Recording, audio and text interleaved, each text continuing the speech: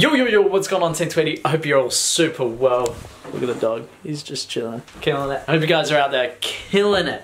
I know the UK went back into lockdown, so you guys get your home workouts in, get those home training sessions in. I'm not sure about the rest of the world, but if you're not in lockdown, I hope you're enjoying it, playing your football. Yeah, I can't wait to get back out on that field. And we'll talk about where I'm going to end up after my injury a little bit later on. So for lunch, I've got a fishbowl. If you guys live in Australia or northern beaches, fishbowl is so delicious. Brown rice, chicken, some salad, and then I'm gonna mix that through with some pumpkin as well. So super healthy lunch. Gonna go off to the gym pretty soon. Right now it's 12.30, so I'll eat this, go to the gym at about 1.10 and get an absolute solid session in. Every day I like I start to enjoy the gym more and more. I say this, and I truly feel like when I come back from this injury, I'm gonna be not only a completely different player, but seen by coaches and other players as a different player, which is going to be really cool. Arrived at the gym. I still weigh, look, the camera's about 800, 900 grams. It's a fair bit. So yeah, 70, 70.5 is kind of what I've been sticking up. Now, I'm okay with that. It's just like,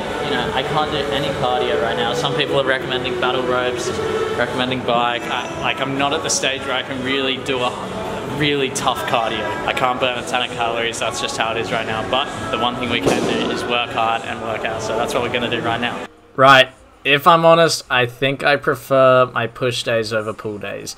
Pull ups, my form is. Uh, look, it, I know it's not good. You guys don't need to tell me.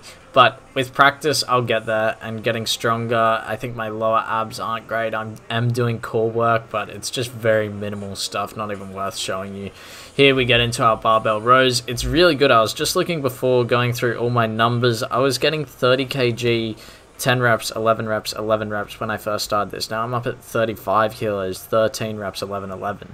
Reverse grip pull downs, I started at 30 kilos and then they got 12, 12, 12. Now we're up at 45. So I'm just getting stronger and stronger and it's awesome to look back at your gym progress. This exercise, I started 20 kilos, did 12, 12, 12. That was a little bit too easy. 25, I got 15, 15, 15. That one, I'm slowly building it up. Barbell curl, obviously progressing. I changed my form a little bit so the weight went down, but it's really cool to see the progression in the gym. That's kind of what keeps me going. Let me know down in the comments, what keeps you going to the gym? I tell you what, I changed up my workout a little bit today to make sure that I went to kind of no more than a minute 30 on my rest, it to about a minute, and I got the whole thing done except one exercise in 35 minutes, which is really good. Didn't do the last exercise because I got to do the bike. I got to be home. Sam's doing some work for me, so I've got to make sure I'm home for that. But dude, I can't even hold this camera. My arms are so sore, but I'm seeing improvements, man. Like even this shirt in my underarms right here, can tell it's getting smaller easily. But we're gonna do the bike now, get this done, dude. So like 15 minutes about. I'm hoping, I'm really, really hoping that my knee cracks again and I get that pain and I can explain what the pain is. It hasn't happened the past couple of days, but I know it's still lingering around. I know it. And the reason I want that is because I'm seeing the surgeon this coming week. So I want to make sure that I can tell him like, these are the pains that I'm getting, this is where it is. I'm not some psychopath who wants pain. Anyway, by workout time. I'm so happy with our workout. Every workout I do, I'm stoked. Feel so good about it after, and I know I'm on the right track, man. I know it. I can feel it. I can see it in my body. Feels good, man. Right, so I did end up getting the pain in my knee, which is a good thing. A little bit frustrating, but you guys get to hear what it sounds like. You can see exactly where I'm pointing, and that's so important to give to the physio, give it to the surgeon, so they know exactly what's going on. I was only on here for about seven minutes, and the seven minutes I was on there, uh, look, I'd say it felt good. Got my legs going, it was nice. So yeah, you can see me just pushing. I was going at a decent speed, which I was happy with. I've been progressing my speed every time I get on the bike, slowly getting faster. But yeah, I I haven't really got past eight to ten minutes yet, and that's just because of the knee. So let's get into that. I got it. Ow.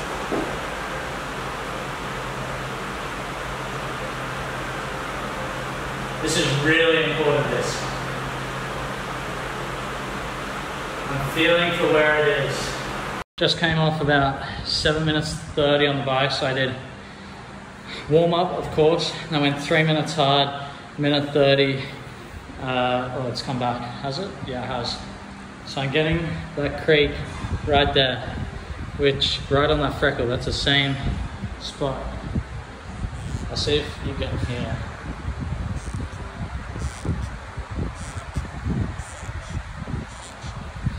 But it was in the second set of the third minute, so three minutes on, minute 30 recover on the bike, and that second set, I started to feel it ever so slightly. And then it came on. But right there is kind of where it feels like the creak is. And I'll give another angle. So like about there. Right on that freckle. I am frustrated. I thought that it might have been okay because I did my pull work yesterday.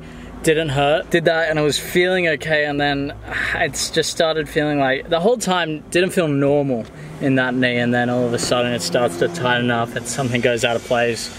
I don't know, but that was really crucial information, that videoing, so that I can show the surgeon next time I see him, this is the pain I felt when I did this, this is the pain I felt when I did it in the pool, and he'll be able to identify it a bit more. And look, I think it's gonna be very likely we end up getting another MRI, or listen to this. So I'm zooming in on my knee. You hear that? I really hope you guys heard that, but that's what's happening in my knee right now. And I think that the meniscus is coming out of place and it's rubbing on something. I don't know. But look, I gotta get an, I think I just have to get an MRI. It doesn't matter, man. We just gotta make sure that I'm okay. I can't, I can't live like this, no way.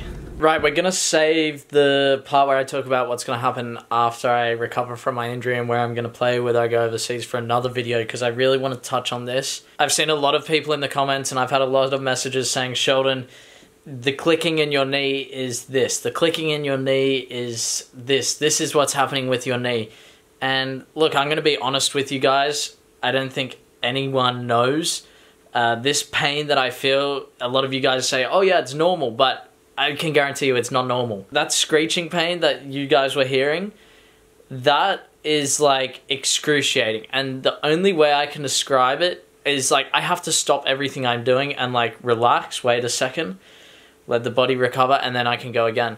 But the only pain I can relate it to is when I tore my meniscus. It's like I can't walk, I can't function, and it just like will eventually, like whether it moves back into place or whatever it is, it takes a second and then it's okay. Yes, it might be, it might be fine, it might be normal, but this pain, like, it's not something I can push through. It's not like, oh, it's a clicking pain. That's like normal when you get knee surgery. And look, the only person who will know, and I think it's difficult for you guys because you're not here with me. You don't see the knee.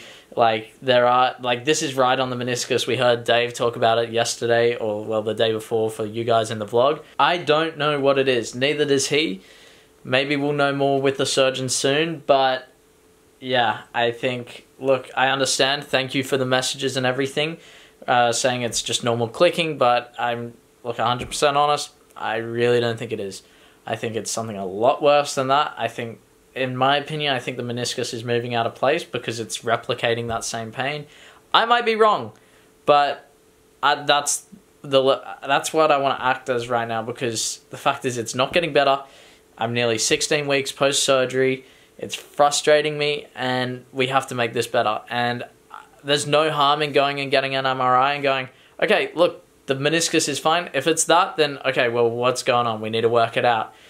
Again, this ain't normal, man. I know the clicking. I get that normal clicking pain. I have that clicking pain where the knee clicks in my knee. Like, I get that. I have that right now. I'm not complaining about that. This is something different. I get a lot of clicks in my knee. Listen, that's my meniscus knee. I don't know if you guys can hear.